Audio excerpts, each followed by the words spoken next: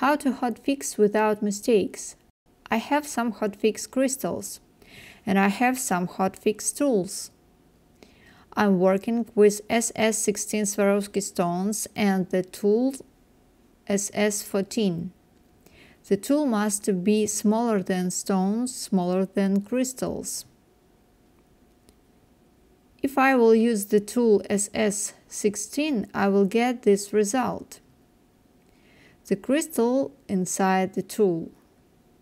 It is a mistake. I want to fix the crystal not inside the tool.